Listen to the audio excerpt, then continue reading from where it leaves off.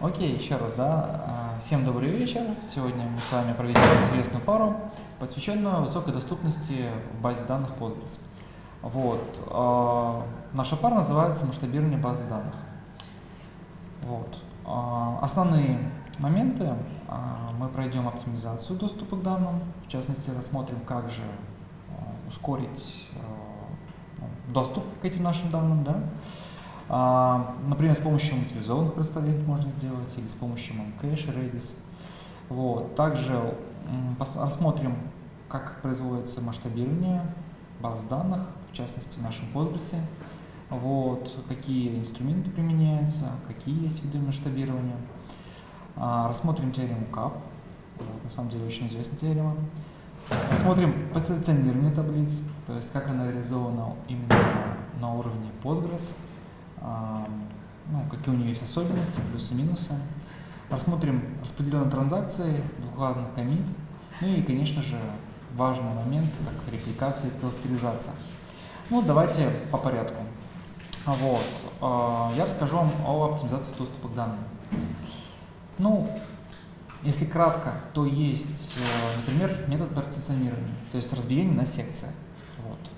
Ну, на самом деле он достаточно интересно реализован у нас э, в Postgres. Вот, я расскажу подробнее чуть позже. А, есть материализованные представления. Вот. Э, ну да, есть вроде бы обычное представление, те, которые ходят к таблицам, а есть материализованные. А, чем они отличаются, вы увидите. И как они именно помогают э, именно в плане оптимизации доступа к данным, тоже рассмотрим. Ну и, конечно же, кэширование данных. А, это про кэш не который именно на уровне сервера, а про кэш на уровне базы данных. Он на самом деле отличается, вот, у него есть свои собственные методы, мы это рассмотрим все. Ну окей, а, для начала материализованное представление. Вот. А, как вы думаете, да? Вот есть представление обычное. Чем отличается обычное представление от материализованных? Ты, Елена, что думаешь по этому поводу? Может, нам студенты подскажут. Студенты подскажут? Чем отличается? Во, аудитория немножко оживилась. Так, прозвучал вопрос. Ну, на самом деле, я думаю... Так, ну давайте. Есть таблицы, есть представления. С представлениями вы уже знакомы. Знакомы, да? Да. Знакомы, да? View, create view делали. Create view. Теперь новый термин, новое слово, материализованное представление. Чем отличается? Вот исходя из термина. Materialized, да, materialized. Ну, ну, смелее, смелее. Хорошо, смотрите, есть представление. Есть представление, да? Представление, оно куда? Что оно собой представляет? Запрос, по сути, да? Верно? Сохраненно под каким-то наименованием. Так? Вот. Соответственно, если мы вызываем представление, то фактически мы что вызываем? Запрос, который ходит к множественным таблицам. Верно? Чем представление еще это функция? Представление это не функция. Может, это уже готовые данные? Представление вот. это запрос. Да. Близко к этому, да. Смотри, если обычное представление это просто запрос, и каждый раз вызывая наш запрос, а, ну, наше представление, мы фактически вызываем наш запрос в виде подзапроса, да, и ходим в основные наши файлы с таблицы, ну, таблицы, с которой представляет собой файл. Вот. А материализованное же представление, оно будет э, на самом деле что-то типа сохранения состояния, да, то есть вы сделали, создали это материализованное представление, потом его выполнили, вот, а, и получили состояние данных на текущий момент времени. Да. То есть фактически ну, что-то типа кэша, да? Ну, в каких случаях это может реально использоваться, в каких случаях это может быть удобно? Наиболее распространенный кейс, допустим, у вас есть некоторые там, оперативные базы, из них сливается информация в базу отчетов, базу агрегации, по которой менеджеры, аналитики, маркетологи, финансисты и прочие, прочие, прочие люди строят разного рода отчеты. Вот. Отчеты обычно сложные, считаются долго. Поэтому распространенной практикой является создать несколько материализованных представлений, которые считают какие-то общие агрегаты, которые нужны всем отчетам. Они, допустим, эти материализованные представления обновляться будут по ночам, когда нагрузка минимальная на эту базу отчетов, когда никто из пользователей там отчеты свои не строит, а потом днем приходят люди на работу и на базе, на основе материализованных представлений уже строят сложные отчеты, получают информацию быстро. Не только быстро, но еще и разгружают доступ к этим таблицам. То есть заметьте, да, а, обычное представление, оно входит в эти файлы с этими таблицами, да, то есть она все равно их загружает, она их читает, а материализованное представление она их не трогает. Она входит в свой файл, в котором данные хранятся. Более того, да, по материализованным представлениям в Postgres можно создавать индексы. А это очень круто, на самом деле. Очень быстро работает в итоге. Ну, давайте рассмотрим, как это делается, да. То есть мы, а, как и стандартно, создание происходит с помощью ключевого слова create. Create materialized view. Вот. Принципе, ключевое именно как раз такая фраза. Также она имеет название, также она указывает на некий запрос. Вот. А, явное отличие, опять-таки, от обычного представления, оно может содержать индекс. Вот здесь видим тоже на примере, у нас э, указывается create index on materialized view. Вот. Э, индексы, в принципе, здесь можно брать также любые стандартно. То есть здесь нет такого явного ограничения, например, что только B3 индекса. Можно использовать разные. На самом деле материализованное представление – это достаточно распространенная практика, и многие промышленные СУБД эту функциональность реализовывают. Вот, важным, отличием, да, важным отличием именно материализованных представлений PostgreSQL, с которыми можно столкнуться с теми особенностями, не, не ожидать такого, их нужно всегда обновлять явно. Вот, например, в Oracle материализованное представление обновляется автоматически. Как только в исходную таблицу были вставлены или изменены или удалены данные, то автоматически перестраиваются все материализованные представления на основе этой таблицы. В Postgres это не так. Тут на самом деле, конечно, есть э, как минусы у этого решения, так и преимущества. Минусы, ну, понятно, что нет возможности получать э, измененные данные в реал-тайме. А плюсы есть возможность отложить тяжелый просчет материализованных представлений на менее нагруженное время. На время простое. Да. Если же есть необходимость делать это в реал-тайме, есть один простой выход. Какой? Догадаетесь? Да нет. Это не есть разгрузка. Да, использовать триггер на исходную таблицу, которая при изменении данных вызывает обновление материализованного представления. Как бы тоже решение. Ну вот э, вообще сама строка, сама команда обновления материализованного представления представлена на слайде тоже в самом низу refresh materialized view и имя нашего представления. Окей, следующее это кэширование данных. Ну да, все знают о Memcached, вот, как он вообще реализован, да, вот, но, ну, насчет там, хранения в оперативной памяти, на основе хэш-таблиц, все это понятно, да, но оказывается, можно работать с УБД, да, именно, чтобы не ваш как бы сервис, да, как бы ваш, ваш, не ваша серверная сторона а, ложила в кэш, ну, кэшировала данные, да, а именно чтобы BD управлял кэшем. То есть BD знает, что данные обновились, BD обновила кэш. Вот. Это делается у Postgres на уровне, например, такого расширения, как PGMM Cache. Вот. В частности, а, ну, он реализован на уровне такого экстеншена а, как а, Forge Data Wrapper, то есть BD подключается к кэшу и ложит туда, соответственно, данные. Вот. А само приложение настроено на этот кэш. То есть сначала он смотрит его, а потом, если требуется, смотрит BD. Вот. Также можно использовать в виде кэша другую базу данных, в частности, например, Redis. Вот. А, ну, все, наверное, слышали про Redis или не слышали? Не слышали, да? Но на самом деле его особенность в том, что Redis является ну, почти на 99% а, хранит данные чисто в, именно в оперативной памяти. Вот. То есть она, в принципе, таковых данных почти не хранит на диске, да? Ну, это документоориентированная база данных Такая, с преимущественным хранением данных в памяти. Да, и, а, ну, понятно, раз данные в памяти, да, то значит их легко можно брать. Причем часто делают так, что вот есть у нас основная база данных, да, сервер с, нашим Postgres, а Redis он лежит как сторонний, сторонний сервис на стороннем э, железе, да, он не использует ресурсы нашего Postgres. Вот, Postgres в него ложит данные, вот, а наши веб-серверы настроены на этот Redis. Они ходят к нему, забирают данные, читают. Тем самым мы опять-таки разгружаем нашу основную базу. Вот. Опять-таки, если данные изменились в нашем Postgres, Postgres обновляет данные в Redis, опять-таки на уровне э, именно использования такой, такого решения, как Forge Data Wrappers. То есть возможность именно данные запулить э, в наш Redis.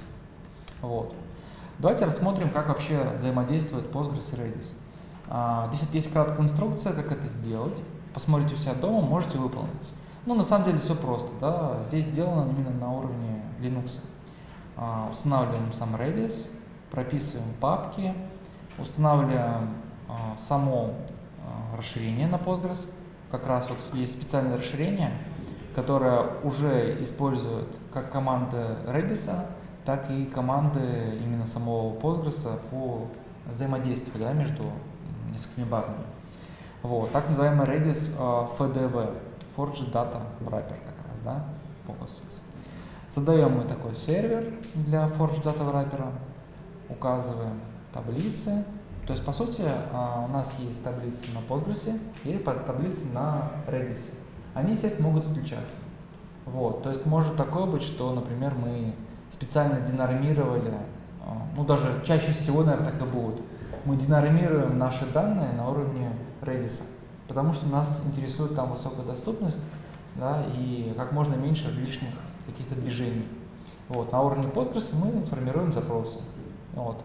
Эти запросы мы ложим, ну, данные по этим запросам мы ложим в Redis, а Redis в итоге отдает их веб-сервису. Ну и мапим да, в конце. А, есть плюсы и минусы. Плюсы, в принципе, очевидны. Да? Работа будет вот за счет такого приложения, будет работа почти с э, режиме онлайн, да, то есть реального времени. Почему? Потому что Postgres, как только у него изменились данные, он сразу положит их в Redis. Вот.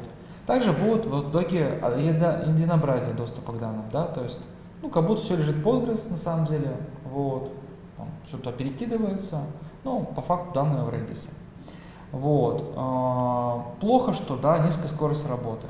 То есть там у Redis отсутствуют так называемые индексы, и у него там все чисто на уровне uh, K-value работа ведется. И тем самым, ну, можно снизить именно, поэтому говорю, там uh, хорошее было бы решение именно писать денормированную базу. Вот. То есть по умолчанию она как бы копирует, но лучше денормировать, чтобы снизить именно вот эти вот образы. Но опять-таки, я говорю, раз индексов нет, соответственно, мы не сможем как-то эффективно искать информацию. Да? Ну и использование хранимых процедур э, достаточно, ну вообще там, в принципе, в Redis нет хранимых процедур. Вот, и как-то вот будет не очень аккуратно все. Ну, на самом деле, распространенная архитектура высоконагруженных сервисов – это когда между бэкэндом, то есть не такой вариант, когда через Postgres мы ходим в какие-то средства для кэширования. А когда между сервером приложения и базой данных ставится кэшер, чаще всего мемкэш. Зачастую ну да, Лен, это, это я не спорю. Я сразу сказал, что мемкэш так используется обычно. Вот. Здесь же мы привели именно э, варианты, когда от базы идет э, складывание данного кэша фактически вот в этот сервис, некий промежуточный. Это чуть-чуть другое решение.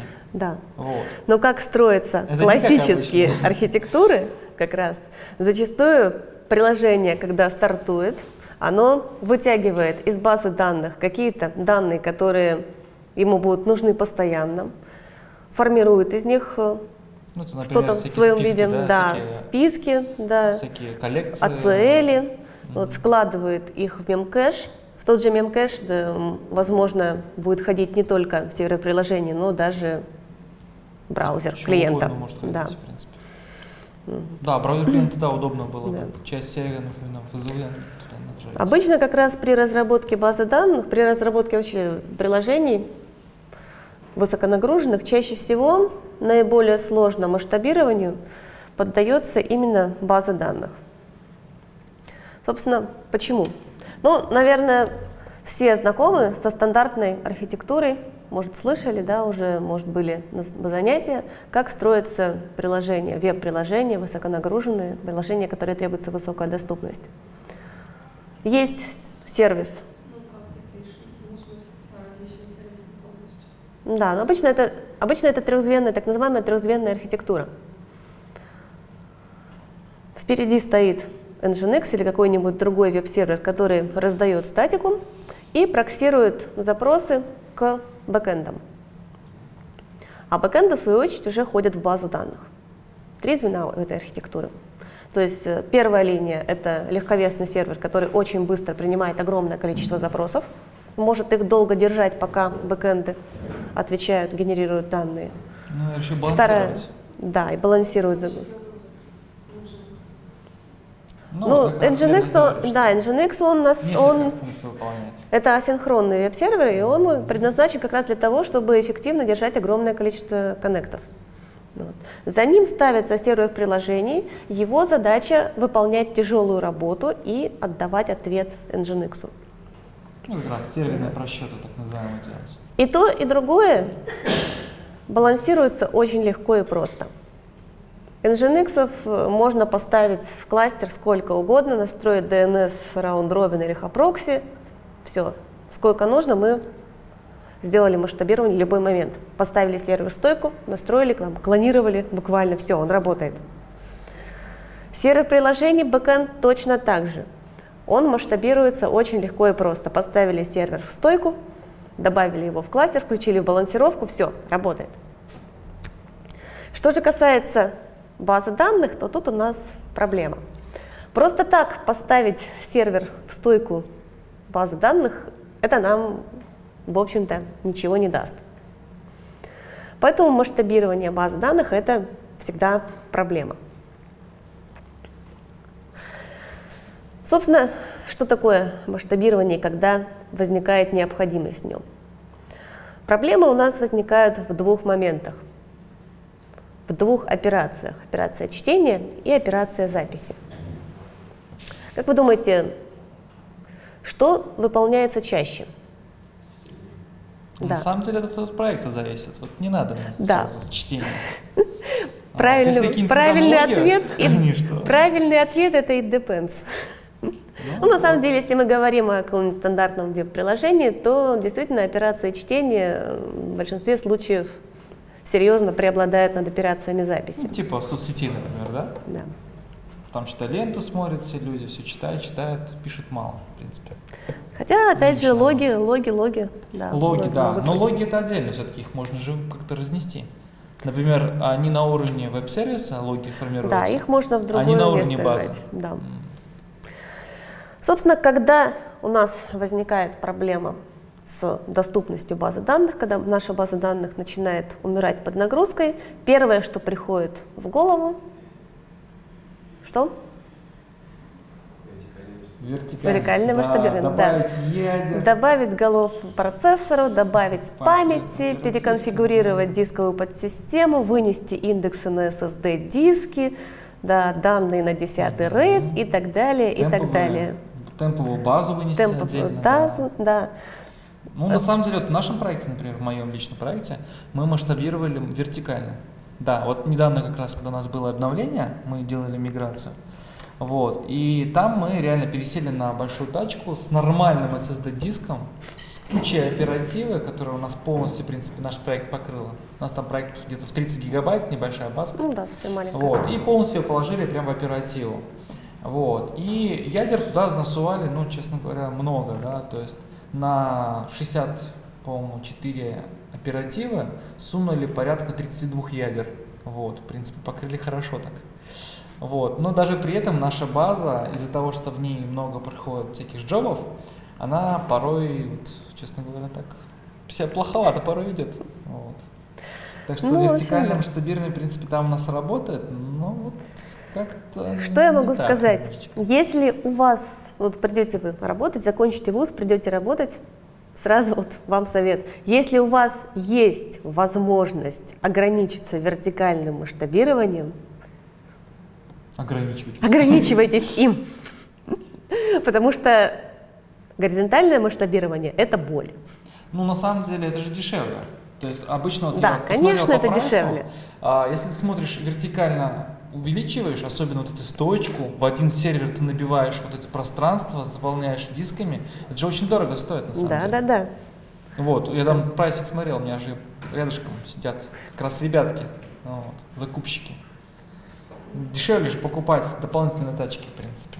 Конечно. Собственно, почему это решение обычно и выбирают. Но если у компании есть деньги, не нужно гнаться за модой, не нужно слушать умные конференции, на, котором, на которых говорят красивые слова, как мы построили высокопроизводительный кластер на, раз- на, да? Raspberry, на, Ra- на Raspberry Pi. Если у компании есть деньги, лучше ограничиться вертикальным масштабированием. Ну а почему? Ограничиться. Ограничиться, да. Ну, потому что бывает так, что рано или поздно этого оказывается недостаточно. Ну, то есть слишком много денег. Ну, в смысле. Да. Ну, Да, понятно, Не да. depends. It depends. Ну Ну, на да. самом деле, на самом деле есть компании, для которых э, купить сервер за 12 миллионов долларов и поставить его в серверную, это дешевле, чем э, разработать э, high availability решение. Ну, на самом деле тут есть э, зерно разума, потому что э, вот знаю точно, каждая стойка, каждый юнит стоит достаточно много денег ну, в плане обслуживания, да. Поэтому если мы даже разграничим больше и больше тачек, это в любом случае выйдет, возможно, в долгосрочном дороже. Они еще ведь ломаются. Вот. Нет, тут вопрос немножко в другом. На самом деле это сильно зависит от сферы применения. Крупные банки и телекомы, А, ну они, да. Они шардинг делать не будут. такое. Да, там цена консистентности Да. данных, согласованности настолько высока, что действительно поставить мощный сервер им будет дешевле. Кстати, а в новостях недавно прочитал, что у китайцев сейчас самые мощные сервера. Очень может быть. Ну, серьезно, Очень может быть. До этого добились, так что, возможно, будем сейчас скоро китайское вертикальное масштабирование в китайском варианте. Ну что ж, поговорили о приятном, теперь начинаем, Ну да. перейдем к боли, о том, как с ней бороться. Способы, которыми можно сделать горизонтальное масштабирование, их не так много. Это партиционирование таблиц, репликация и шардинг. Ну, Ну, вообще всем понятно, вот, э, все эти три эпитета, да, что они означают, термины? ну, мы их подробнее еще потом. Более-менее, так, есть Раскроем. понимание, да? Партиционирование таблиц, ну, то же самое, что секционирование, да? Распределенную, распре- распределенную как раз таки таблицу сделать. Распределенную. Но это и есть ну, партиционирование, да. распределенная таблица. То есть фактически раскидать как-то на одном, одну логическую таблицу раскидать как-то на физически разные, получается, места хранения. Ну да, репликация. Понятно?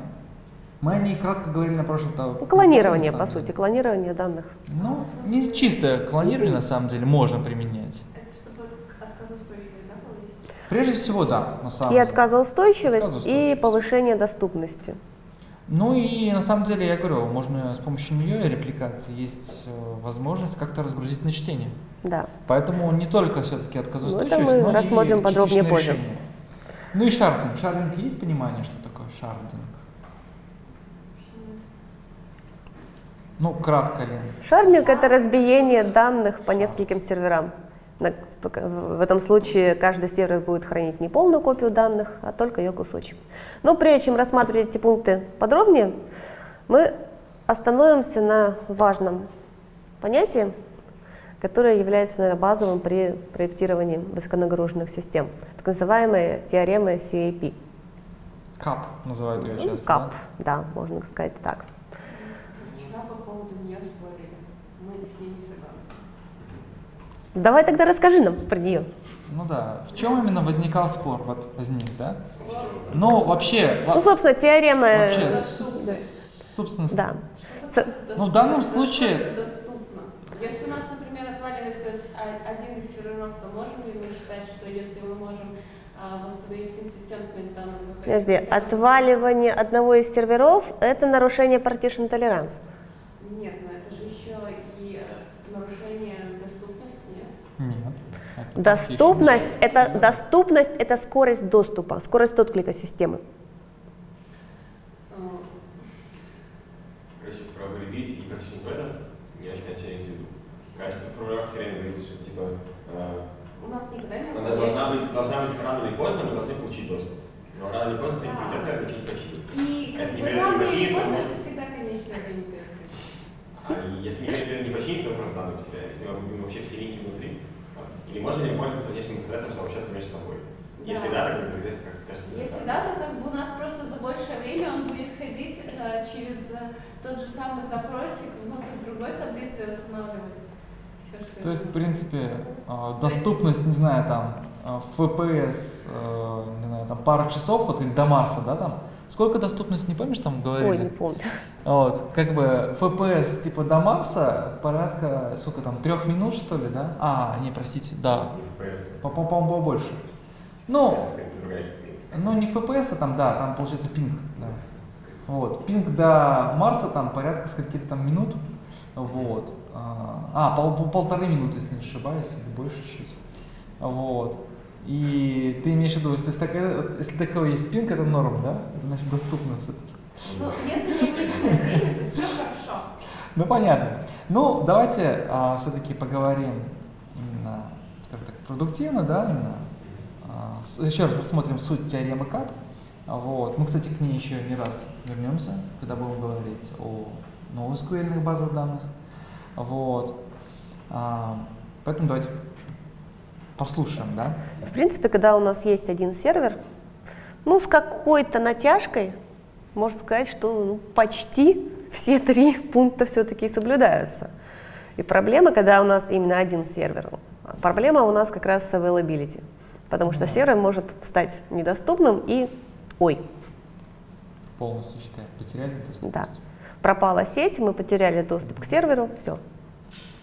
То есть минимально нужно хотя бы разнести по разным дата-сервисам, дата- Да. дата- да- дата-центрам.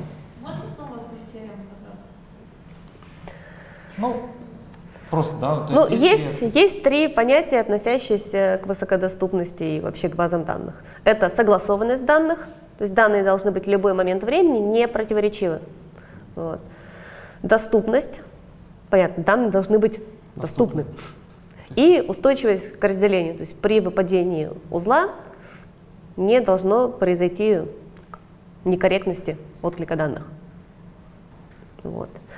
И теорема, собственно, заключается в том, что при любой архитектуре, при любых стараниях, попытках можно достичь не более двух из этих трех пунктов.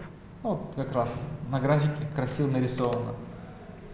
В том случае, если у нас одна СУБД, у нас есть консистентность и есть partition tolerance. Ну, вот этот ЦП, получается, угол, да? Да, Видим? да это, это теорема, она не доказана, она эмпирическая.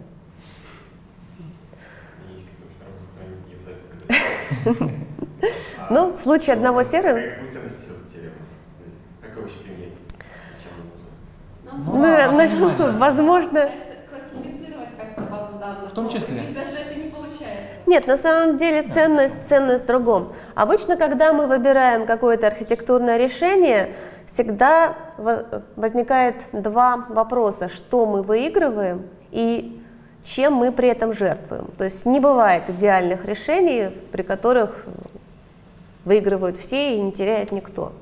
И теорема CAP, CAP, CAP помогает, да, теорема CAP помогает э, как раз понять, что именно мы теряем, пытаясь что-то выиграть. Допустим, пытаясь вытянуть availability, мы неизбежно потеряем либо consistency, либо partition tolerance. А что лучше сохранить? Что зависит А от это проекта. зависит от приложения. Да. А если это э, социальная сеть?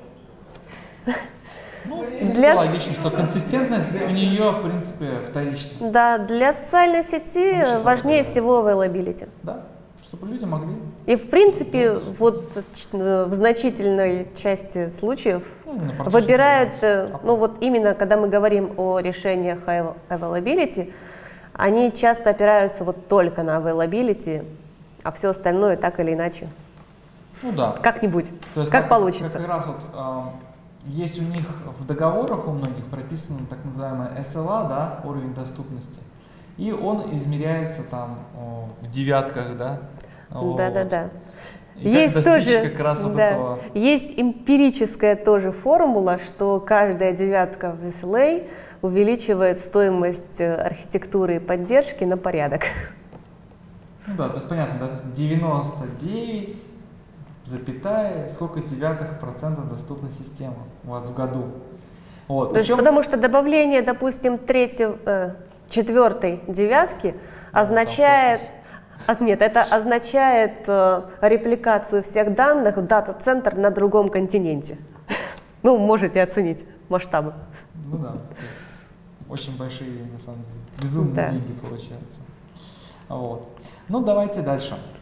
А, Рассмотрим партиционирование таблиц.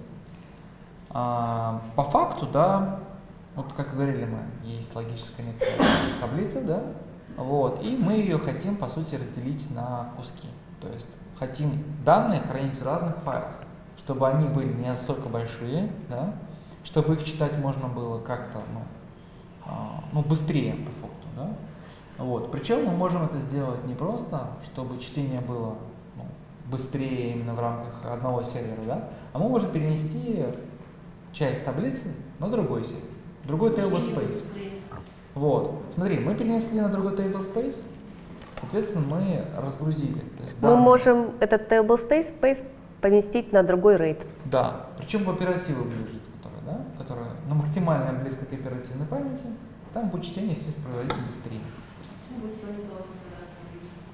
В смысле, вот ты все положила, это как одна большая корзина с яйцами, правильно, да? Вот, смотри, и там, получается, поиск данных в этой большой корзине будет долгий. Ты придется перебрать тебе все, всю эту кучу, чтобы как-то найти нужные данные. А ты положил ее по мелким кусочкам, и в итоге ты знаешь, ага, мне нужно искать, например, вот а, здесь в данном случае по дням недели, например, видим, по дням разделено. Вот, сегодня, вчера, позавчера и так далее. Видим? Вот, соответственно, например, мы знаем, что Нет. нужно искать, к примеру, вчера данные. Ты сразу лезешь в нужную корзину, ищешь это быстрее, чем если ты искала бы по всей большой корзине, правильно? Ну, в каком-то Что-то смысле, да. По сути, не совсем по папкам, все-таки ищешь по файлам. Это то же самое, как по файлам разбить.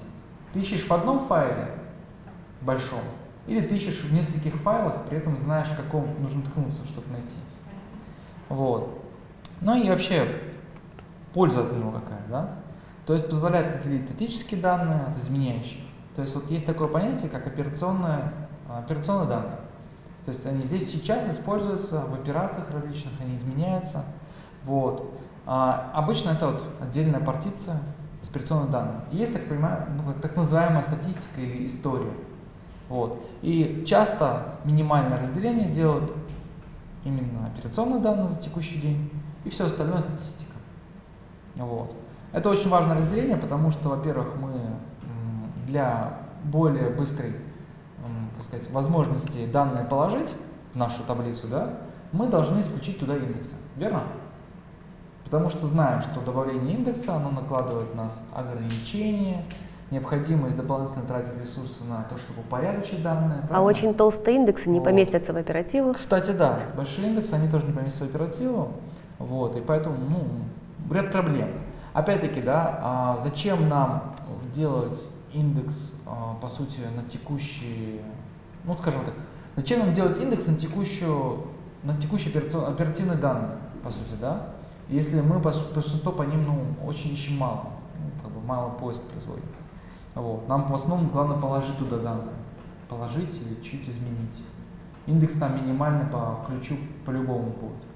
Вот. Ну, это одно из таких преимуществ, да. Также еще можно воспользоваться физической близостью вот, данных.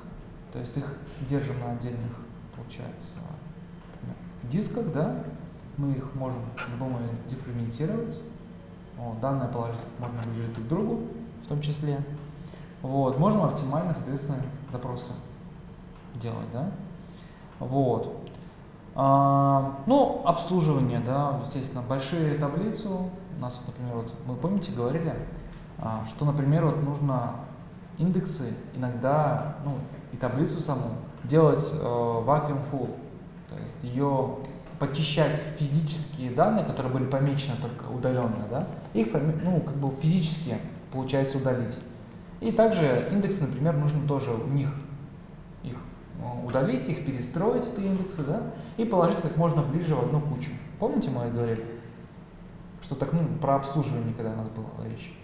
Вот. Так вот, э, партиционирование нам может как раз в этом помочь нам. То есть нам не нужно одну большую таблицу, ее долго-долго-долго производительное позиционирование, ну, э, не позиционирование, а производительное мне вот этот vacuum full.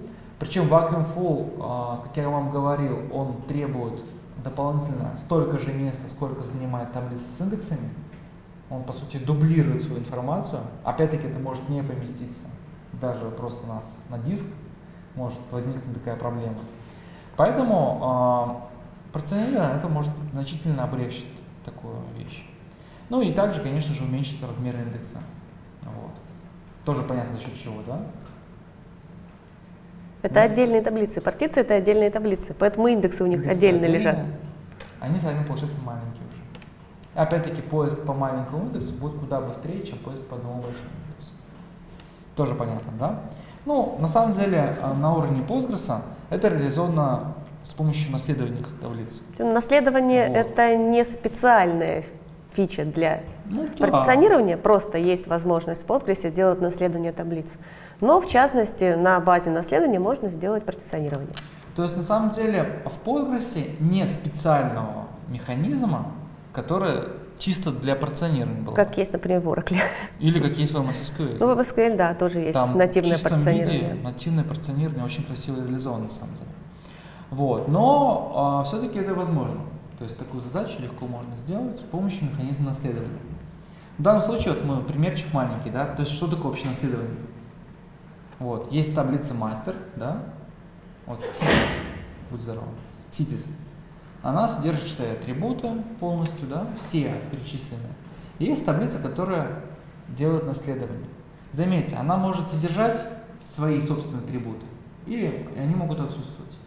Если они отсутствуют, то, соответственно, а, доступны атрибуты, те, которые есть в орнителе. Ну, вообще, а, что производится, да, тут ключевые моменты какие. А, атрибуты у нас задаются, основные атрибуты задаются при порционировании особенно, да. Они задаются на, только для мастера. Вот. Что дальше? А, в дочерней таблице возможны селекты, апдейты, делиты. Вот. А в родительскую таблицу они тоже возможны. Но вот смотрите, ложить данные можно только сами дочерние таблицы. Нет, на самом деле Postgres это не запретит. Не запретит, да. да. Но это неправильно но архитектурно. Будет, да, там будет такая ситуация, что у вас у родительской таблицы вставлены данные, хотя вы при этом хотели их разделить. Вот. То есть создав такую вот как бы иерархию, вы получаете ну, на логическом уровне а, как некие отдельные таблицы. Ну давайте на примере это увидим на самом деле. Да? Вот. А, что тут еще только следует заметить? То есть вставка только в дочерней желательно делать. В мастер-таблицу родителей мы можем делать select, update, delete. Это не запрещается. А, также нужно на дочерней таблице, чтобы для правильной работы его налагать ограничения. То есть принцип, по которому мы решили их разделить друг от друга, да, мы должны на него положить не просто разделение, но еще и само ограничение, чтобы данные оставлялись ну, корректно, чтобы индексы на них на эти были, ну, на эти разделения. Вот. А, что еще тут нужно обратить внимание? Ну, реиндексы вакуум, они будут работать только для дочерних. Вот, поэтому нужно будет вызывать обслуживание делать не на основную мастер-таблицу, которая по сути нет данных, да? она скорее больше для именно объединения на логическом уровне. Вот, а нужно будет делать именно на конкретно партиции, на те самые файлики. И обслуживание производить именно по ним. А вот дальше уже серьезное достаточно ограничение, которое нарушает один из пунктов теоремы КАП. Может, вы даже скажете, какой?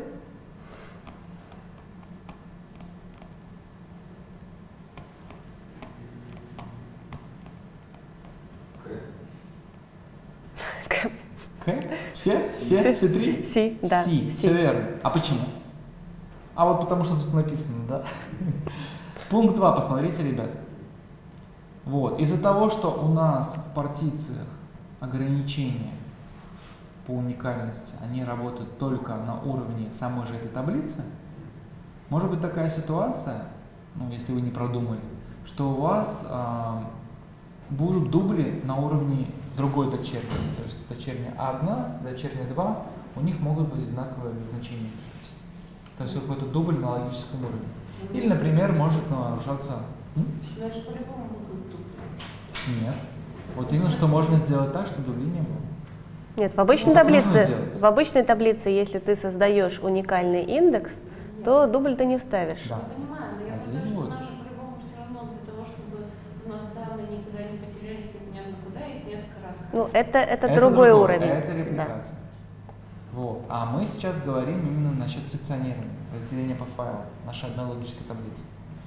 Вот. Ну и в принципе, если вот как раз этот пункт, ну, хоть как-то можно побороть, там, может быть, поставить да. триггер, который будет дополнительные проверки Смотреть. делать, Мгм. да. То вот последний пункт из этого списка, он является не- таким очень неприятным, и э, воркараунда для него ну, Нормального не- нормального не придумано, да. Вот этим, кстати, и он хуже, чем нативная нормальная. Да, да. То есть нет возможности использовать партиционированную таблицу как источник внешнего ключа. То есть нельзя на нее сослаться из другой таблицы. Можно только на конкретную таблицу дочернюю. Что делает, в общем-то, бессмысленным использование. Ну, Да, вообще. То есть обычно поэтому, ну, плохо, в общем. То есть вот это вот именно уровень внешнего ключа уже стараются реализовать на уровне серверного приложения. Как-то там это вот все вести аккуратнее. То есть это честно ссылаться нельзя. А главную, которая Нет, как раз на дочерние ссылаться можно, Можно, а на на главную главную... Да и на главную-то сослаться можно, Ну, но она пустая. Да. То есть смотри, мы можем сделать внешние ключи, но только на уровне Конкретной физической таблицы. Физических данных.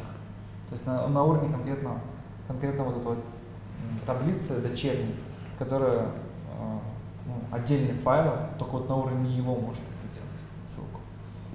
А нам же нужно, чтобы она была внешний ключ был к этой таблице по всем его дочерним. то есть мы можем связаться какой-то конкретной дочерней, но во всем вместе не можем. Да, да. Так и получается. Из этого это просто А на бессмысленно. мастере, если мы вот сделаем ключ, а там просто нет в мастере данных. А если мы положим еще и в мастере дочерние, они будут дублироваться. Ради скорости. Мы повышаем availability, жертвуя Вот Consistency. А разве бывают такие таблицы, в которых вообще нет ранки? Ну Ну, на самом деле, в действительно очень высоконагруженных системах Там вообще бывает, бывает. отказываются вообще от э, внешних ключей просто ради скорости вставки. А как тогда вообще данные связывать? Ну вот на уровне серверного приложения приходится. Да, делается регламентное обслуживание, которое проверяет Всякие согласованность. счетчики и так далее смотрятся. Так называемые QI-тесты, Quality Control. Я же говорила, если нам не хватает мощности железа, то все остальное это боль. Так или иначе. Вот вот. Давайте дальше. Посмотрим, как же вообще делать выборку. То есть в данном случае мы можем а, указать, что брать только конкретно у какой-то дочерней таблицы. Вот, например, видим from only, видите, выделен. From only cities. Или мы можем сделать выборку из всех дочерних таблиц, указав а, у нее вот звездочку там на конце. То есть будут выбираться из всех дочерних таблиц. Ну окей, как же вообще реализовать наследование, да? То есть прежде всего создают мастер-таблицу. Вот. вот у нас мастер-таблица message. В ней мы объявляем атрибуты, описываем необходимые нам ограничения типа not null, да? Создаем, соответственно, например, при- ну, обязательно создаем первичный ключ. Вот. В принципе, без него тоже никак. Вот. Далее мы создаем дочерние таблицы. То есть а, видим, да, у нас нет у них атрибутов, да, есть только ограничения. Ограничения накладываются для того, чтобы мы как раз а, ложили именно с учетом как бы вот этого ограничения ложили только, ну, как правильно а, мы выделили условия, по которому мы хотим разделять а, ну, вот эти на партиции нашу основную таблицу. Например, это условие является одним днем или одним месяцем. В данном примере это один месяц. Видим, да? 10, 11. Вот. То есть а, каждый месяц у нас появляется новая партиция. Чтобы явно разграничить, что данные, например, вот сегодня месяц, скажем, 10, да, 11 месяц, соответственно, вот, а, значит, нужно новую партицию именно в 11 месяц положить в запись там, чтобы она именно в этом файле хранилась. Вот. Создали. Указали, что она э, является наследованием от таблицы message. То есть не родительская таблица, родителем является message. Создали необходимое количество партиций. Вот. Обычно, э, когда мы инициируем в начале, у нас ну, и данных вообще нет, например, да, то, соответственно, у нас будет одна партиция да, в текущий день. Если уже какие-то данные существуют, то придется создать уже столько партиций, сколько у нас, соответственно, по данному ограничению а, ну, будут обрабатываться. Нам же нужно данные распределить будет. То есть нужно будет из текущей таблицы толстой а, раскидывать инсертами нужные, соответственно, дочерние таблицы, а потом из главной все эти данные удалить. Правильно? Окей. Создали наши дочерние таблицы. В них указали ограничения. Далее мы создаем индексы. Вот, создание индексов по сути является обязательным. Как думаешь, для чего это делается? Ну, на самом деле все просто. Для чего это делается? Например, мы а, делаем запрос, да, в котором мы указываем просто, что возьми, скажем, сообщения, которые были за месяц ноябрь, из основной логической таблицы, то есть на мастер указываем. Вот. А, соответственно, имея индекс, система поймет, что ну, индекс именно на то же ограничение, которое у нас есть на чек, было, на него же мы наложили индекс такой же. И тем самым мы получили что? Система увидела, есть индекс на тип дата, есть ограничение на тип даты. Значит, нужно искать не во всех его дочерних таблицах, а нужно искать только в конкретных, в которой этот чек срабатывает явным образом. И сам, сам планировщик, он понимает, что нужно идти в этот файл, и там его ищет. Вот. На самом деле можно потестировать для интереса и, и увидеть, что ну, действительно ищет, например, за только ноябрь будет искать, он будет только одну дочернюю таблицу смотреть, то есть один файл перебирать. Планировщик при этом он даже показывает, сколько он обошел. Если, например, вы будете за год искать, он покажет, например, там, у вас 12 партиций было, он все 12 обыскал, а всего там, например, 20. Да. Но нужно создавать, получается, индекс на родительскую таблицу. Нет, нет, нет. На дочерней. Индексы всегда на Вот дочерней смотри, В таблице. данном случае видно же, что create index, он дочерняя 1, вот видно, да? Ну, Вот, видишь, дочерняя 1, Родительская пустая, в ней нет два, данных. Какие индексы? три. Да, на родительскую бессмысленно. В ней нет данных. Мы же берем данные с какой-то родительской, потом их Нет. Смотри, нет. Мы просто запрос делаем на родительскую. Родительская, по- да, вот Родительская только на селектор Да. работает, по сути. что Она как логическое объединение. Да, Да. И индекс помогает именно, что при логическом вроде бы вызове основной родительской таблицы, он понимает, что нужно искать дочерний и какой именно. Вот. И тем самым все это быстро ускоряет м, сам поиск. Вот. А также для обслуживания рекомендуется вводить триггер. Смотрите, например, сегодня у Вот нас... Не то, что рекомендуется, это единственный возможный способ. Ну да, чтобы самому не делать, то есть смотрите, вот сегодня 31 ноября, например. Вот. У нас на следующий месяц партиции еще не существует. Но она должна быть по факту, да? Вот. А, тогда как же, во-первых, ну, создать партицию? Ну ладно, окей, мы это можем сделать, например, на Chrome. Chrome будет у нас создавать, ну, Chrome, шедулер, то есть некая служба, которая понимает, что да, у нас день сегодня ноябрь, 31, нужно создать новую партицию. Хорошо, создаст. Это норм. А как же быть тогда а, с тем, что, например, у нас идут э, вставку в основную нашу родительскую таблицу? Как же тогда раскинуть эти как раз вставки на дочерние? То есть еще раз, у Postgres нет нативного способа вставки в родительскую таблицу автоматически распределить, партиционировать на отдельные таблицы. Это приходится делать вручную.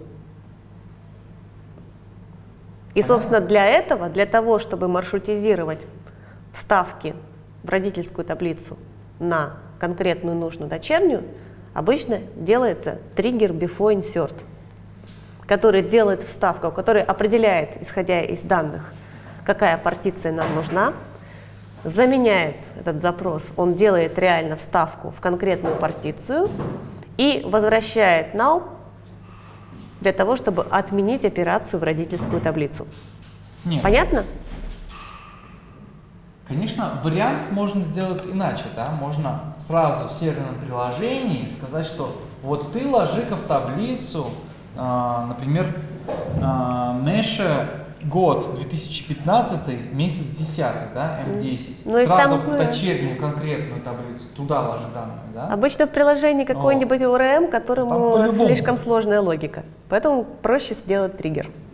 Еще раз, понятно, что делает этот триггер?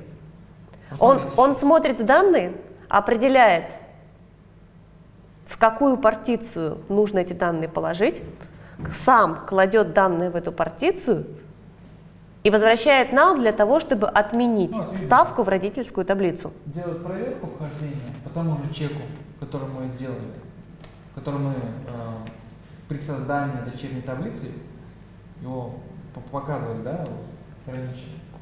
Вот. Если он входит в этот чек, соответственно, значит, вставка сюда будет успешной, да, то есть не будет ругаться. Вот. Если нет, то идет дальше. И так он перебирает все необходимые, все возможные партиции, вот, и вставляет в нужную. Но, а, да, иначе он говорит, что out of range, да, то есть я не могу все равно вставить, вот, нагрушает чеки мои все, соответственно, вставка невозможна. Окей. Ну, обратите А, внимание, что это триггер before insert. Ну да, вот в данном случае видно, это перед вставкой. А Потому почему? что он должен что сделать? Я уже два раза повторила эту фразу. Что он должен сделать? А я знаю. Он должен Зачем он должен вернуть ноль? Чтобы не вставлять данные в... Да, он Да. должен отменить ставку. Да. Отменяет ставку в основную логическую и направляет, соответственно, ставку в конкретную дочерню. Вот. Ну, недостатки сразу понятно, да. Это нужно вот эти контролировать вот эти консистентность через чек ограничений, да. А, вот. А, нужно, соответственно, создавать вот эти вот новые партиции, вот, их как-то по там можно, например. Вот. Нужно запускать эти все vacuum full, анализы и так далее на конкретные дочерние. Ну, да долго будет. Это слишком большие накладные расходы. Можно, конечно, но обычно этого избегают. Потому что это каждый раз будет это запрос на проверку существования таблицы внутри этого триггера. Это слишком дорого. Поэтому я говорю, лучше на крон делать. Если сегодня, если там придерживаться того, что каждый новый месяц новая таблица, просто если сегодня первое число месяца, то... Создал заранее по крону. Да, проще, проще последний день месяца какой-то готово, Да. да. Да. Или вчера, за- сегодня за- создавать на завтра. Вот. На самом деле еще я в практике реализовывал партицию, да, порционирование большой таблицы. У нас было э, создание таблицы, ну, партиция была на случай, то есть медицинская некая система, да, вот, а ежедневная, там, ну, там не ежедневные были, ежедневно слишком, в принципе, много было бы. Примерно ежемесячно мы делали партиция, да, вот. И я создавал на уровне того, что делал вот не такой рода запрос, а создавал, по сути, динамический запрос. То есть, вот смотрите, в данном случае прослеживается явная, а, явная закономерность, что вот сюда вот будет проверяться год, правильно? А вот здесь будет использоваться месяц. По сути, вот эти только два момента будут меняться у них, верно? Вот. А, Я что делал, да? Я проверял у этой записи, вот, ее на парты делил, на части. Вот.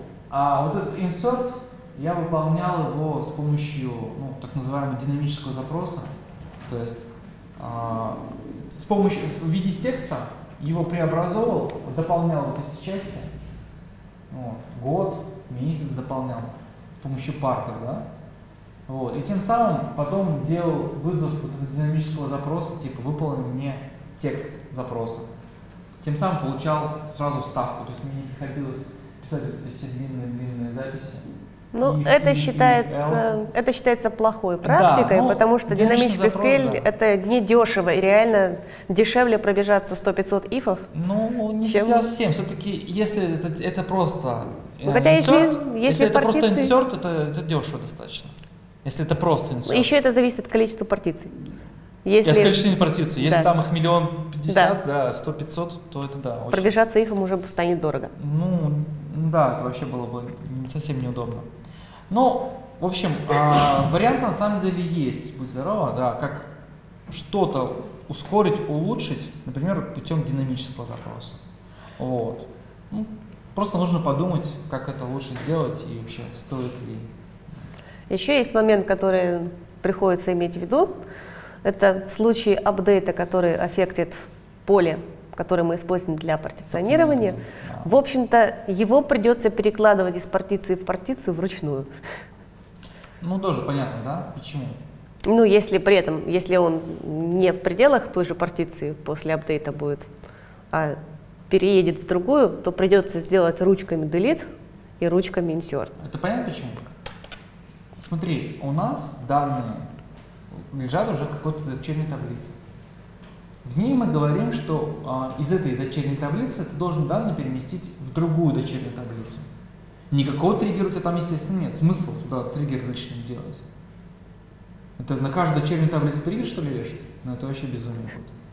Вот. Тогда получается, что тебе нужно именно ручками оттуда вырвать из этой дочерней таблицы и перенести в нужную, в которой чек ну, нормально сработает. Но Это можно, в принципе, как один из вариантов решения этой проблемы. Можно сделать триггер, Процедуру биф- можно можно сделать, триггер before update на родительской таблице, который проверяет, попадает ли new Ну да, в, типа те в ту же самую партицию, что и old. Если попадает, тогда продолжаем, Вставляем, да. А если не попадает, тогда делаем удаление и вставку в Ну, новую естественно, партицию. отменяем. Да, и update возвращаем null. На текущий, да. То есть сложности есть свои, но что поделаешь. Причем, заметьте, апдейт вроде бы к родительской, но при этом будут проверки там идти именно в самом этом, в дочерней будут идти. Потому что только там есть данные фактически. Мгм. И тоже будет before. Ну, окей, а, да, Да. сложности есть, есть свои недостатки именно на уровне не, ну, не, не, имея, не имея нативный, нативного партиционирования на уровне Postgres. Но я думаю, это исправят на самом деле. Все-таки Возможно. есть, работают. Развивается достаточно быстро, Да, я так думаю, что есть шанс исправить. Когда-нибудь до руки доберутся до этого. Ну вот, сейчас мы говорили о повышении availability, а теперь попробуем поговорить о том, как можно повысить другую букву. Ну, для начала, наверное, мы сделаем перерыв. Час прошел, перерыв. давайте сделаем небольшой перерыв. Давайте. Ну, давайте продолжим. Да. Мы поговорили о повышении availability. Сейчас поговорим об улучшении другой буквы, а именно консистенции. Ну да. Ну, в каких случаях нам может понадобиться распределенные транзакции? Ну, начнем, наверное, с небольшого примера. Самый первый случай, когда я лично столкнулась с распределенными транзакциями, у меня была реальная задача. У меня был сервер Oracle, в нем лежали некоторые данные. Ну, это был ритейл, данные о продажах, там чеки. Вот. Oracle. Рядом стоял сервер MS SQL, на котором крутилась 1С. И нужно было по окончании рабочего дня, когда закрывались в магазине кассы, нужно было запустить выгрузку данных из Oracle в MS SQL. Ну, норм. Да. Задача, в принципе.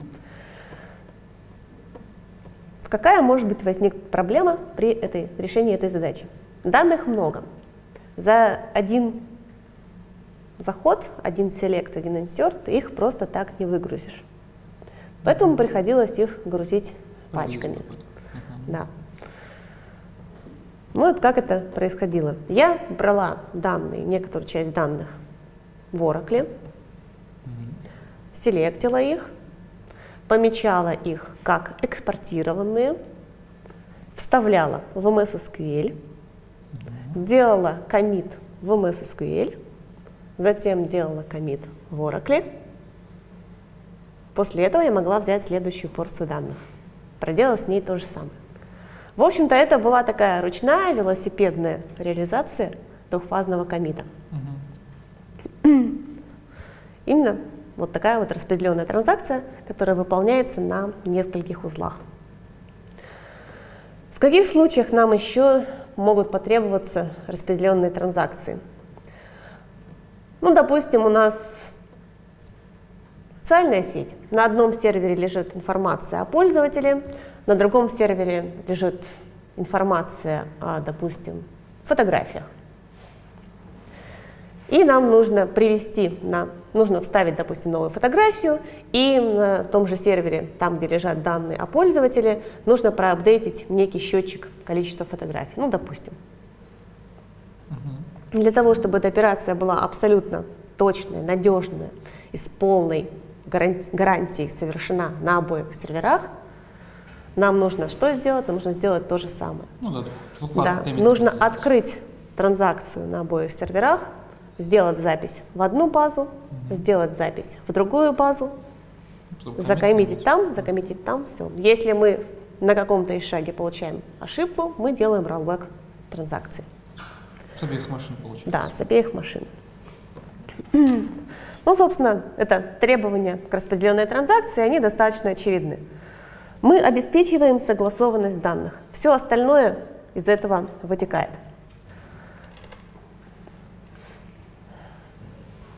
Ну, вы видите схему, которую я, собственно, описала сейчас своими словами. Вот видим как раз два ресурса, подготовка и комиты. И, конечно, база данных получается, да? Да, обычно, ну, в большинстве случаев реально реализация двухфазного комита распределенной транзакции существует именно вот в таких велосипедных решениях. Именно руками открываем транзакции, делаем комиты. Но на самом деле есть и специальные сервисы под названием Transaction Manager, целью которого является управление всей этой кухней, в том числе продвинутые транзакшн менеджеры, они могут даже продолжить транзакцию после сбоя сервера. Вот. Ну, то есть, в смысле, сбанил сервер, Да, они у себя где-то в памяти оставляют, да, получается? да. То И возобновилось, получается. Да, Transaction Manager это третья сторона. На самом деле вот в этой цепочке request to prepare, prepared, commit и done есть один неочевидный момент. Мы можем сделать комит на одном из серверов, мы его уже сделали, а на другом сервере у нас комит не прошел. И мы уже не можем сделать rollback на тех серверах, на которых мы сделали комит. Ну, понятно? Ну да, деньги перевели, Ну, например, потому да, что мы получается? уже, мы уже сказали комит. Мы не можем, после того, как мы сказали комит, мы не можем сделать rollback. То есть придется делать delete туда, обратно Да, операция, но да. такой не предусматривает обычно. Вот задачей транзакшн менеджера как раз э, в числе прочего является решение вот такой коллизии, которая решается либо вот таким вот ручным делитом обратно, либо после восстановления после сбоя он сначала пытается сделать дальше комиты, а если уж совсем не получилось, тогда уже делает обратную транзакцию. То есть Да, может Да, да. То есть все это решается, ну, когда мы работаем, ну, в любом случае, когда мы работаем на нескольких узлах, мы уже идем в область допущений и везения. Да, сложности есть. Ну, схема двухфазного комбита, собственно, словами я вам уже описала, она делится на фазу подготовки, когда данные в нескольких базах готовятся к выполнению, когда при этом генерируется уникальный идентификатор этой транзакции, по нему, в общем-то, возможно вс- все эти операции дальше продолжать после восстановления, после сбоя или, наоборот, откатывать. И, собственно, фаза фиксации после того, как все узлы готовы провести комит, координатор транзакции, собственно, отдает команду закоммитить Ну, данные. да, Получается. Ну, как я уже говорила, это решение зачастую, ну, оно применяется очень часто, оно самоочевидно, и когда разработчики сталкиваются с необходимостью ввести согласованные данные на нескольких узлах, в общем-то, часто пишут вот такой велосипед самостоятельно, как это сделала я в свое время. Я, кстати, тоже подобный велосипед писал. А вот, когда нужно было делать э, интеграцию путем XML, то есть вот MS SQL у меня выгружал в XML данные, я строил очередь, вот, эту очередь пулял куда-то туда в неизвестность, вот, ждал от нее отклика, соответственно, а, обратная была ответка, присылалась мне, что типа да, я принял данные, вот, типа, все нормально, можешь мне больше их не слать. Но это была такая односторонняя посылка, это было чуть-чуть попроще, но, вот, но все равно, что данные перешли, не перешли, фактически мне тоже двухфазный комит такой был некий. Ну, Тоже интересно было. Ну, а теперь мы поговорим, собственно, снова о повышении доступности. На самом деле, данных. помните, я на предыдущей паре, когда мы разговаривали с вами о безопасности и конфигурации, немножко сталкивался с темой репликации. В частности, выделял, что есть соответствующие конфигурации, ну, в конфигах есть соответствующие пункты, которые отвечают за потоковую репликацию. Вот. Но прошлое занятие, она была скорее так, больше обзорным. Мы поговорили вообще, что такое репликация, да, и а, какая вот такая репликация, на- как- по какому принципу она сделана. Сейчас давайте поговорим непосредственно именно как репликация может помочь нам в высокой доступности. Ну, на самом деле, для почти всех баз данных, даже, наверное, не почти, для всех баз данных всех. есть э, те или иные решения для репликации. Да, есть встроенные, поставляемые вместе с базой данных из коробки. Почти, кстати, у всех баз есть. Не у всех, но почти у всех. ну, у Репликация. MySQL нет нативной репликации. Хм, не знал. Хотя, может, в последних версиях есть. Наверное, есть, да, все-таки они сделали, все-таки ими же Oracle занимался. занялся Да, потом. возможно. Поэтому я думаю, они наверное, все-таки сделали что-нибудь такое. В PostgreSQL до версии 9.0, ну даже скорее до 9.1, Даже до 9.3 на самом да, деле. нормальный, 9.1 нар- да, она нормальный работала, но она падала собака. И ребятки, когда у нас админщики установили 9.3, перешли на нее, они наконец-то вздохнули с облегчением. Вот. Поэтому все-таки 9.3 она нормально, стабильно работающая репликация потоковая. Вот. Ну, ну, это именно потоковая репликация, которая делается особым механизмом. Но на самом деле, наверное, нужно упомянуть о том, что есть несколько вариантов, как можно реализовать репликацию. Самый простой способ – это повесить триггер, который все изменения берет и отправляет на другой сервер. В PostgreSQL есть DDL-триггеры, есть триггеры для данных. И вот самые ранние решения, которые существовали до того, как завезли в PostgreSQL нативную репликацию, были реализованы именно таким образом. С помощью триггеров, которые мониторили все изменения в базе и отправляли их в реплику. Ну, по сути, это синхронно получается репликация. То есть Это триггер, же он ас. выполняет себя, это синхронно. Как только данные изменились, он послал там. Ну, этот механизм, этот механизм можно бы было так, сделать так как можно синхронно, так и Да. асинхронно. Синхронно напрямую, асинхронно через очередь. Ну да. Вот. Просто типа сложить что-нибудь. Ну вообще, а, синхронная репликация понятна, да? То есть, соответственно, получается, мастер-база, она, получается, ожидает того, когда будет подтверждение от его дочерних слоев, да? Опять же, это повышает консистентность, понижает availability. Ну понятно, да, почему повышает консистентность? Потому что на, соответственно, его узлах дочерних будет актуальная информация. И повышает, повышает partition tolerance. Синхронная реплика. Да, повышает. Мгм. В частности, получается, там и сразу будет понятно с узлами, как что поступать. Вот. Но и асинхронная репликация, на, понятно, да, что есть какие-то задержки временные. Вот, в частности, асинхронная репликация в Postgres, э, потоковая, которая она делается путем журнала там, знаю, Wall Transaction, Wall логов, да?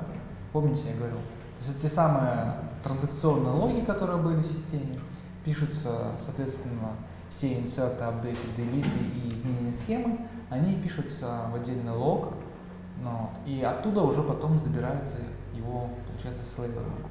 То есть за счет них он не читает кусочками, у себя выполняет.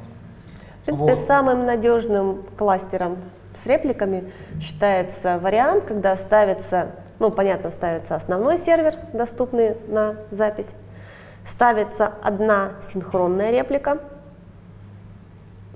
И ставится одна или несколько асинхронных реплик. Благодаря этому достигается такой вариант, что в случае падения основного мастер-сервера у нас в принципе есть полная копия этого сервера Мгм. с данными актуальными вот на момент последней транзакции, полностью актуальными. То есть мы вообще ничего при этом не теряем. Но в самом страшном случае, если мы потеряли оба этих сервера, ну, на этот случай у нас есть асинхронная реплика, которая, в принципе, могла немножко отстать. Ну, она, скорее всего, отстанет, но не сильно. Да. Ну, в зависимости от нагрузки. Ну да, если там много. Бывают сервисы, для которых э, потеря даже одной транзакции очень критична. Как вы думаете, какие, например, могут быть сервисы? Да, банковская Банки, сфера. Да. Самое явное. Потеряли платеж, все, нарушили репутацию. И потерянный платеж именно на пару миллионов долларов. Да, ну, да, да. конечно, как Всегда именно так случается. Всегда. Да. Ну, вот. ну, понятно, да, а, есть, в принципе, какие репликации есть. Мастер-слейв, да, то есть есть основная база. Самая мастер- распространенная репликация. Да, наиболее ну, как бы стандартная да, репликация, в принципе. Есть ключевая база мастер, а, в нее возможны все операции, то есть update, delete, insert, select. Вот. И есть slave. Slave либо он в чистом виде только как копирует полные данные, то есть у него запрещены любые операции, да, либо он доступен на совершение запроса. То есть он может разгрузить частично за счет того, что он может данные выдавать. Вот, на селек отвечать. И есть, э, соответственно, репликация мастер-мастер. Вот. То есть у нас оба, а, получается, сервера, да, баз данных, они между собой сообщаются. При этом возможна операция удаления обновления как э, в одном, так и в другом случае.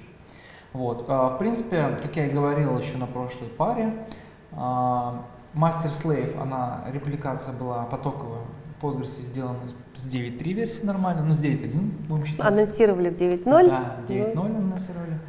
Вот. А master to master, да, то есть так называемая bidimensional а, репликация потоковая, она появилась с версии 9.5, тоже уже в коробке, вот, поэтому можно использовать ее. Вот. Конечно, есть свои Ну, минусы, наиболее часто все-таки является именно решение с мастер-слейв репликацией. Это позволяет ну, сравнительно легким путем обеспечить э, масштабирование в той ситуации, когда у нас операции чтения очень серьезно превышают операции записи. То есть для большинства сервисов как Да, раз подходит. да. То есть обычно какой-нибудь веб-сервер ставится мастер, на который идут чтение и запись, и ставится одна или даже несколько реплик. Реплик можно поставить хоть 50. Кстати, они очень все будут раздавать данные. для различных отчетных систем получается. Прям очень актуально. Ну да. Потому что отчетная система они же только на Только на за чтение, да. Ну, вообще понятно, да, что реплика это некое распространение копли- копии, да, репликация само, сам это процесс распространения, да, получается копии. Ну и кластер это получается объединение вот аналоговых элементов какую-то общую систему. Получается кластер такой, функционально. Он функционирует самостоятельно, Но обычно, когда мы имеем дело с кластером, приложение даже не подозревает о том, что там есть мастер, реплика, там где-то чтение, где-то запись. Мы- Приложение просто думает, что у него есть Ну, СУБД, и все. То есть в этом главное отличие.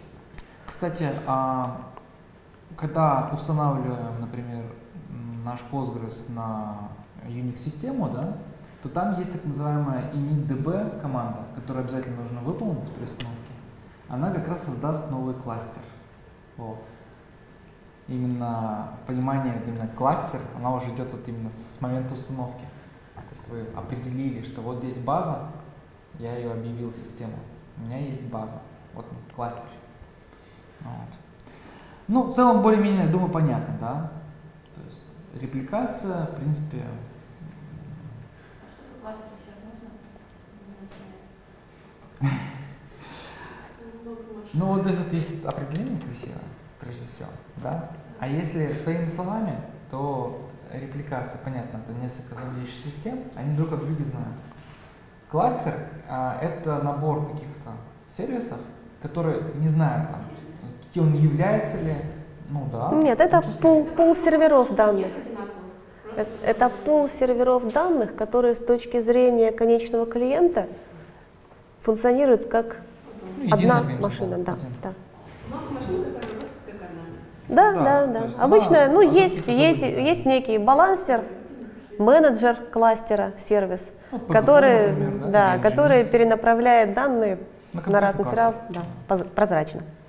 Например, вот, э, в данном случае, если говорить об отчетной системе, то э, балансер направил бы запрос именно отчё- отчетов на слейв, к примеру, на кластер какого-нибудь из слейвов. То есть Вот. это как объединение железа? Ну, не совсем. Ну, может, программно, программно-аппаратный комплекс, можно так сказать. Ну да.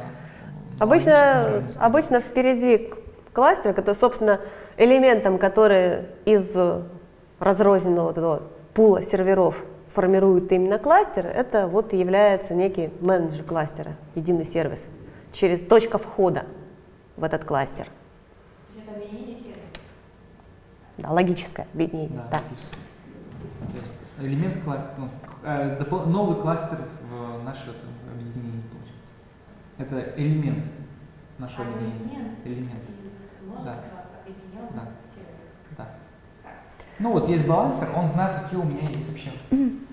Элем- это, и, а, ну, эти, э, не элементы, ну, элементы, да, в принципе.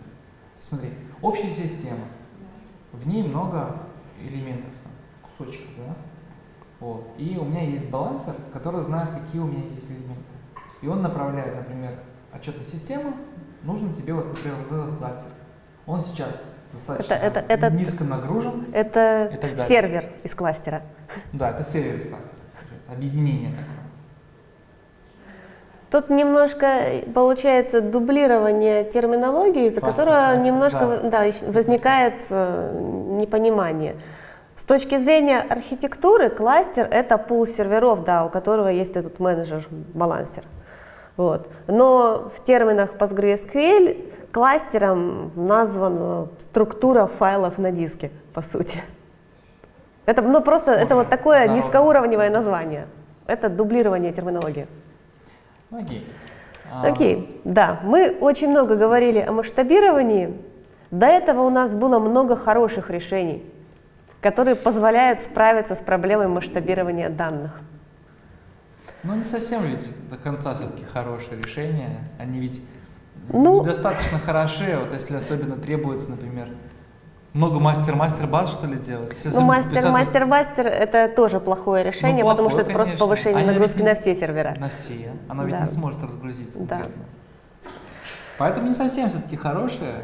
Не совсем, скажем так, Ну, стандартное хорошее решение – мощный сервер.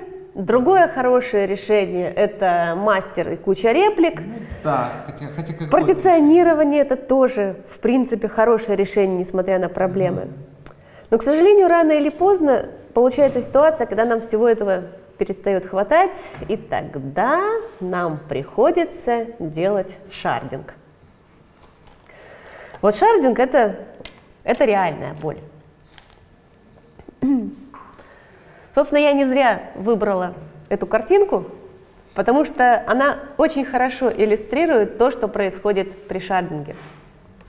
Мы разбиваем наши целостные данные на кучу осколков, а потом пытаемся с ними работать, как будто они все еще целостны. Вопрос. А чем принципиальная разница от, от первого этапа? Не помню, какой слово было. Ну, вот мы в самом начале говорили о том, чтобы наследовать таблицу. Партиционирование? Это что за Оно все Шардинг. еще на одном сервере. Да, на одном. А тут на разные сервера. То есть Да. сервер один, а расположение данных может быть на разных дисках. Вообще, почему прибегают к шардингу? Потому что один сервер перестал справляться с нагрузкой. Тогда ставят еще один и делят данные между ними. Но решение, конечно, в принципе, сама проблема и решение было придумано давно, и с тех пор огромное количество умных людей над этой проблемой работали.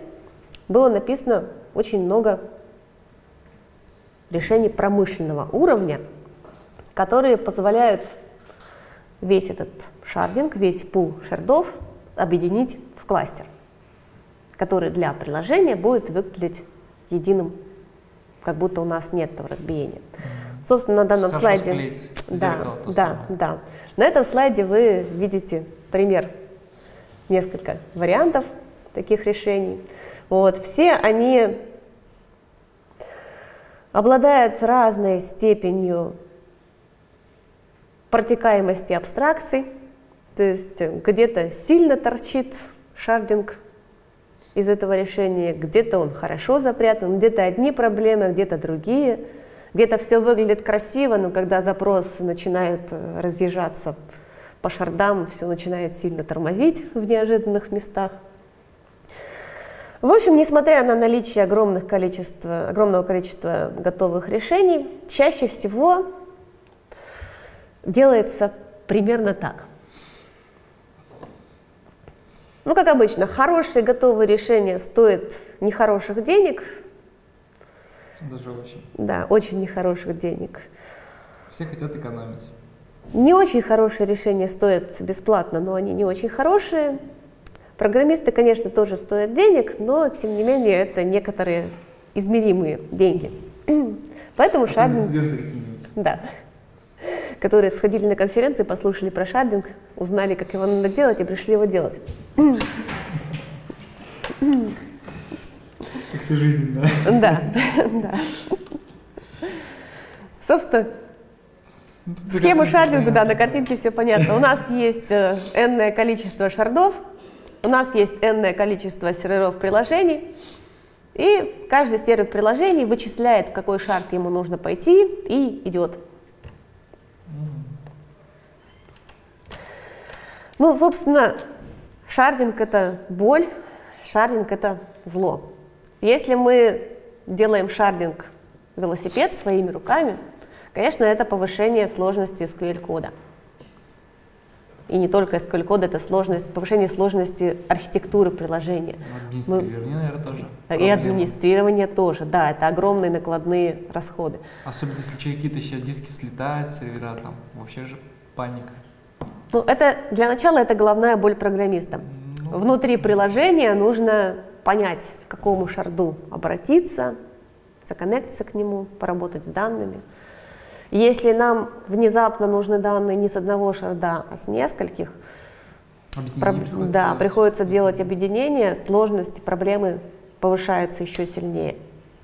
Если у нас несколько шардов, каждому из них нужна реплика. Да, кстати. То есть повышение накладных расходов нужно еще больше больше серверов. машин. Понятно, дополнительные работы, регламентное обслуживание, все такое. Но самая большая проблема, я ее оставила напоследок, это сложность перебалансировки кластера. Но она на самом деле не ограничивается только вот этим вот пунктом увеличения и уменьшения количества узлов. На самом деле самая главная проблема при шардинге – это выбрать признак, по которому мы делаем шардинг. Чтобы потом не переделывать. Да. И если проблема перебалансировки, она еще худо-бедно как-то решается, Ну, да. то вот проблему неправильно выбранного атрибута для шардинга, эту проблему решить без изменения архитектуры приложения в принципе невозможно. У тебя была такая опыт, что это неправильно Конечно, сделано? конечно. Например, есть у нас пользователи, которые платят деньги. Переводы делают. Переводы делают друг Друг другу. друг другу. Вот. Что такое перевод? Это ну, Суть транзак- транзакция. ну, да, запись таблицы платежей, допустим. Да? Что такое пользователь? Но это тоже некая Ну, запись ID какой-то таблицы, да. У пользователя есть идентификатор. Допустим, e-mail. Ну так вот, если подумать, пользователи, м, а почему бы не взять e-mail в качестве признака для шардинга? М, Например, не понимаю. Типа по букве, что ли, раскидывать? Нет, ну, хэш-функция, которая вычисляет там некое шардовое число. М. Ну да. Они разные друг другу переводят. Не-не-не, Нет, нет, нет, сначала шарт надо Мы, мы берем хэш-функцию и вычисляем шард. Обычно шардинг, ну, для того, чтобы уменьшить проблемы перебалансировки кластера, обычно шардинг делается в два шага.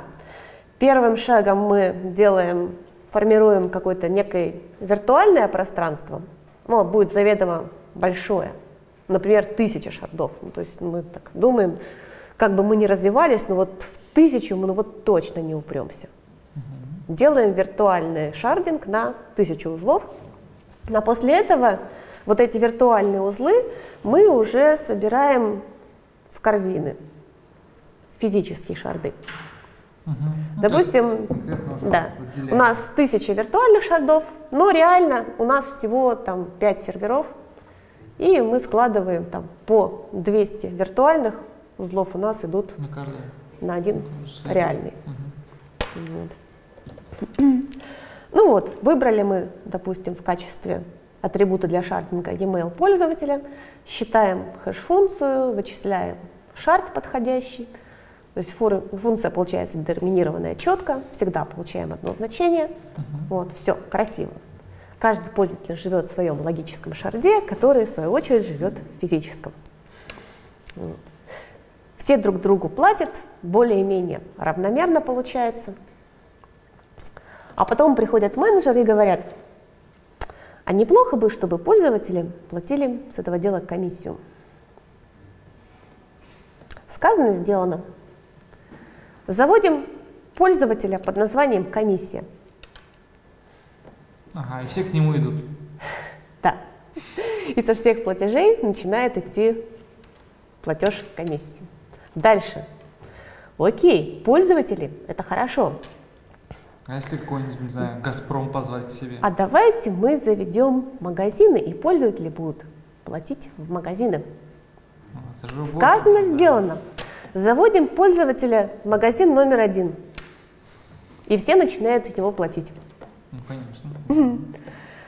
В общем, если не очень хорошо подумать при выборе атрибута для шардинга, мы получаем вот такой вот перекос То есть объема данных. Получится, в какие-то шарды у тебя свободно, какие-то там зашкаливают. Да. Магазин, Да, где лежат, Да, да, где комиссия лежит. да.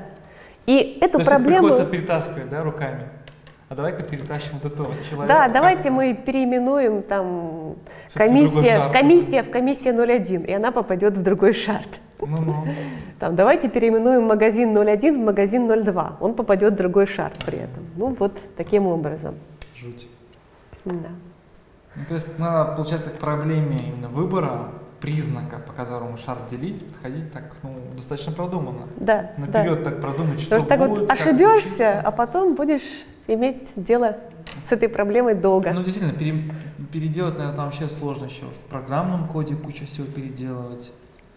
Ну, реально, смена, смена атрибута шардинга — это реально переписывание архитектуры приложения, по сути. Ну да.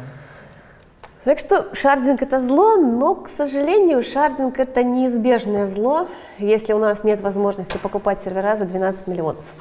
Ну, почему 12 миллионов сразу? Ну, это так, с потолка. Ну и плюс туда еще примерно столько же за оракловый кластер, который нам сделает вид, Ну, что мы работаем с одной БД. На самом деле не обязательно, чтобы оракловскую железку покупать. Вот, можно и хороших админов иметь, которые настроят так, что будут как, как и оракловская железка и очень схожи. Но Скорости всё-таки такой не дешевле, будет. 12 Скорости миллионов. такой не будет. Нужен хороший сторож, да. хороший сторож сервер Да, нужен. придется. Самые всякие, блейды. Согласен, да. Ну, к сожалению, в нашей реальности, в реальности людей, которые пишут веб-приложения, Шардинг это действительно неизбежное зло, потому что это реально остается единственный способ, который позволит увеличить скорость записи. Да, горизонтально. То есть если скорость чтения мы в любой момент можем увеличить, добавив реплику. Слейвы. да, то скорость записи у нас, если мы не можем увеличить мощность сервера, решается только с помощью шардинга. Да, мастер-мастер не особо поможет. Только усилит, получается, объемы Конечно. нагрузки. Вот. Ну, таким образом мы можем, конечно, еще сэкономить денег, мы можем делать разбивку данных на огромное количество достаточно дешевых серверов, нагрузка между ними размазывается, да. Да, это шаринг это способ построить А как там виртуализировать все это? Виртуализировать? А, все равно таскать эти куски да, да, да. виртуализации, Там, да? там данные, данные, поэтому Да, с да, да. тасканием Получится. сложно. Ну, то есть это способ простым, дешевым, ну, не сказать, что простым, но, по крайней мере, дешевым с точки зрения железа способом Мгм. построить high availability решение. Вот. И такой последний пункт, он достаточно спорный, но тем не менее, если у нас шардинг, то в случае какого-то какой-то странной, совершенно ужасной ситуации, Бомба, что ли? да, катастрофы, При этом Да. еще, что слейвы у него были, лежали в том же дата-центре или соседних, да? только? То есть непродуманные слейвы Да, да, да, да, да, да. То есть Ну мы да, теряем, да. если что, данные только на одном шарде. Ну, ты, ты, конечно, смеешься, но вот э, мы когда в последний раз с админами нашими обсуждали архитектуру приложения, Мгм. нам админы так и сказали, делайте шардинг, чтобы в случае чего не потерять все данные. Тут хотя бы часть данных. ну, Да, нормально. хотя бы часть данных А, знаешь, сохранится. все, как ты рассказывала, когда вы СЛА в МТС делали, э, что там, типа, этот, э, что-то безумные деньги, оптика шла там, сколько там, э, из одного континента, ну, не, не континента, конечно, но разнесено там порядка 700 что-то километров Ну, в было. телекомах, да, достаточно серьезно приходится вкладываться. Чтобы там явно атомная бомба в одном взорвалась, а в другом слейв хотя бы вот тут сохранился, да, как-то что-то. Ну, там даже проводят учения disaster recovery. Да, катастрофа. Ну, проблема шардинга. Ну, мы их, в общем-то, уже перечисляли по ходу дела. Но очевидная проблема поддержка ссылочной, ссылочной целостности. То есть э, консистентность это не про шардинг. А вот смотрите, сортировка, агрегация данных между шардами. Да, это проблема. То есть нам нужно вытягивать данные. Так на сервер же они вытянутся на сервер, и на сервере положатся. А, сервер грузим сильно, да, получается? Особенно Нет, если, данные? если нам нужно, допустим, сделать отчет, э, собрать э, А, данные по платежам всех шардов пользователей. Да, сразу. да, да, да. Типа именно Да. с отчетной системой. Да, то есть О, нам нужно бежать да, по это всем сложно. То есть шардам. руками уже что-то приходится делать, что-то такие Да. сервисы. Ну, понятно. Ну, переразбивка шардов, да, это проблема. Ну, про смену атрибутов, да, уже говорили, но перераспределение шарда – это тоже проблема. Даже вот если мы используем это решение с виртуальными и физическими спейсами, то все равно фактически, если мы хотим добавить узел физический, то нам как минимум нужно поставить этот сервер, включить на него реплики, а потом, после того, как он отреплицируется отовсюду, где нам нужно, нам нужно поудалять лишние шарды логические для того, чтобы сделать переразбиение. Ну да, чтобы данные-то пока не, этот, Да. не терялись. Все, что нужно там было. Ну да, слушай, действительно сложная задача, оказывается. Сразу не потому что сервис не стоит на месте, он же постоянно работает. Да. Да, действительно сложность есть. Ну, еще одна не очень очевидная проблема управления соединениями. Ну, количество сокетов у системы конеч- конечное. Ну это у Postgres же. Всего, ну, даже так, если брать даже MySQL, MySQL даже- Да, все равно там, ну сколько, ну даже 10 тысяч коннектов. Если у нас очень-очень-очень такой серьезный шардинг, много узлов, то, получается, приложение будет устанавливать огромное количество коннектов к разным данным. И для эффективности работы оно же будет эти коннекты держать. А, то есть получается веб-сервис у нас, например, да, ему придется держать по 200 в А, по 200 в Б, по 200 Да, да, в С Именно шарды. так.